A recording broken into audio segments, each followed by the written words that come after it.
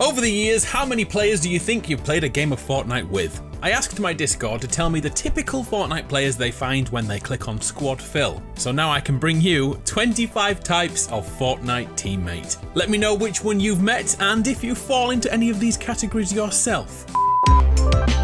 Let's start with one we've all met, the Loot Goblin. Everything is going well until an enemy drops their loot, and that's what triggers the Loot Goblin. This member of the team won't care if they got the Elim or not, they are straight in there grabbing all the best weapons and items for themselves. Some of these will carry shockwaves to repel their teammates away after a battle, so they can loot without any pressure.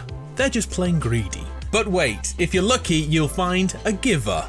This guy asks what weapons you prefer and looks out for them for you. They want to play as a squad and keep everyone happy and working together. They usually keep an eye on people's health too, throwing you a couple of minis if you need it. The Fortnite giver is an all-round good guy. The next type of player will leave you the second you're all on the battle bus, the solo. These players see their own teammates as competition and must finish the game with more elims. They look to steal kills whenever they can and make decisions to help themselves and not the team. They tend to be sweaty players who use squad fill to feed their own ego. The thing is, should that solo go down early, they usually leave the game and don't say a word. Their ego can't take it. Do you have a friend who is the sweat assassin? These guys just want to play with their friends for fun and hide away their real ability. They are great at Fortnite, but downplay their skills because having fun is more important to them. That's until they see a rival sweat taking advantage of their teammates. That is the Sweat Assassin's moment to evolve and fight back. They can crank with the best of them, they can take out the rival Sweat and immediately go back to playing casually. These players could go pro, but they leave their egos at the door when they're playing squad fill. At some point, you're gonna meet a fanboy. As soon as the names pop up in the top left corner, they are already looking at the end for the logo of the platform you play on. They want to know if you're on PlayStation, Xbox, PC or Switch. They want to start a mini console war or proclaim they are in the master race. These players are toxic to the core and like most toxic fanboys, all you have to do is mute them. And another trick is if they get downed, don't revive them. Nobody wants a console war. And what about this one? We all know at least one person who is the combo king or queen. These players aren't here to win games, they are here to admire every skin on the battlefield. You could be under fire from three teams and the combo guy will comment on how well your back bling goes with your weapon wrap. The strange thing is, when eliminated, they keep watching and rate the combos of the person who eliminated them. Have you ever been in squad fill when the foreigner arrives? They come into chat and start speaking a language you don't understand. Usually your love of Fortnite can get you through the whole experience, and a quick Google gives you a few basic words to reply. It's a little more unsettling when you are the foreigner in the group, and the other three people are talking to each other effortlessly, and you don't have a clue what's going on. And I'm sure you've met the AFK guy. They are in the squad taking part, and suddenly they say, I'll be right back. And the thing is, this could be 30 seconds or 30 minutes or sometimes more, so you're left with a conundrum. Do you leave them to die in the storm or do you find a way to drag them into each circle? Whatever you choose, the second they get knocked, they get back on mic. And what is Squad Fill without a kid in the world's loudest house? They're usually great people, they just want to have some fun. The only problem is, everything behind them is so loud, it hurts your ears. And within five minutes, you've probably heard their mother in the background shouting at their sister. Oh, and sometimes they play music. It's always really bad music too. When will they find the mute function? Do you know anyone who is obsessed with completing the daily and weekly challenges?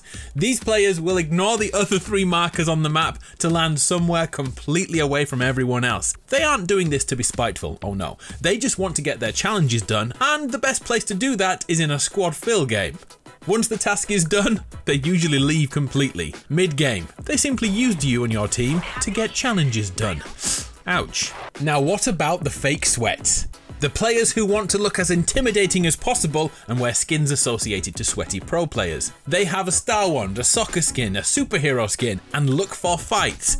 And then reality hits. They aren't that good and go down early. They'll then constantly pressure you to reboot them as soon as possible. One teammate we could all use is the Protector. Players like this will try their best to keep you alive, risking themselves in the process. They'll scoop you up and try their best to stop your body from exploding. These guys see picking up a reboot card as failure. The Protector wants the team to win, but only when all members are still alive and kicking. On the other hand, there's the backseat gamer, the person who has been eliminated so early, but that won't shut them up. They use their mic to tell you exactly what to do. They're demeaning and off putting. Their call outs are dreadful, and they find any way to bring you down. They don't want anyone else to succeed because they failed themselves. But wait, there's another type of backseat gamer who is great. The Angel. Yes, they may have taken a shotgun to the dome in the first circle, but they don't leave the game or become toxic. They watch you play and give out helpful info. They will tell you how many builds you have left. They'll tell you if you need to reload or how far away the storm is. They are happy the team can still win and will be a part of it any way they can. They are pretty much an angel on your shoulder. Have you met the new type of squad fill player this season? The one who loves crowns. Thanks to the new emote and mechanic to follow this metric, you'll likely meet a person who instantly must show you how many crowns they've got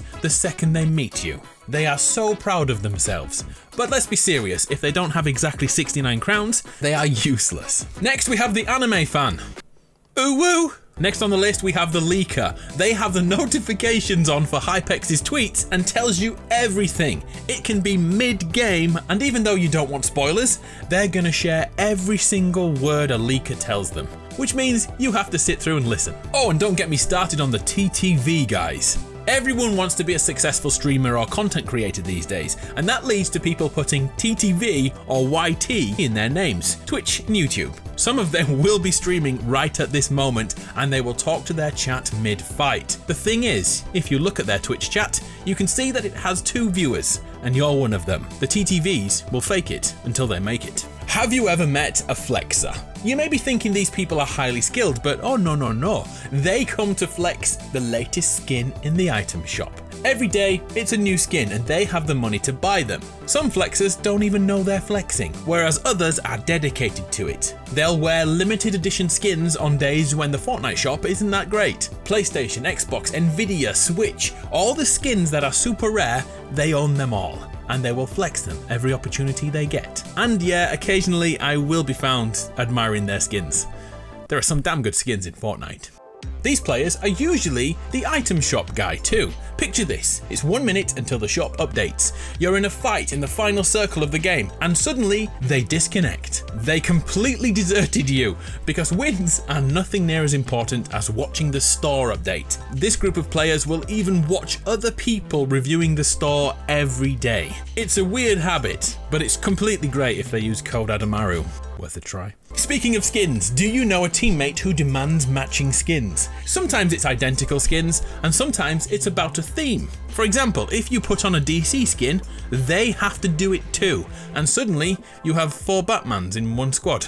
Or four Jonesies, or four of the seven, or 16 bananas bum rushing people in Team Rumble. That was fun. Have you been in a squad with a reminiscer? This person does like Fortnite, but always thinks its best days are behind it. They'll remember old times like the shopping cart being released, or the game being void of skill-based matchmaking. They'll talk about the first live events, and by the end of the game, you'll miss 2018 almost as much as them. The reminiscers are dangerous. And then there's the guy who absolutely hates Fortnite. From the first minute, they'll go on about how Apex Legends is the better game, or how H1Z1 is the best battle royale. They hate Fortnite with a passion, but guess what? They can't stop playing it, and that makes them so angry and toxic. They'll tell you every game that's better, and that you should not be playing Fortnite. The thing is, if Apex Legends was that good, you'd be playing it right now. You don't need validation from us. I wonder if you have this guy on your friends list. The dude with the crappy internet. In game, they'll rubber band around and cause other teams so many issues, but ping aside, the real issue is update day. They'll need 5 days to download the latest patch, and you have to wait for them. The pain starts now. And that brings us to the troll. These guys deliberately queue in duos or squads to troll you. All they want is to upset you.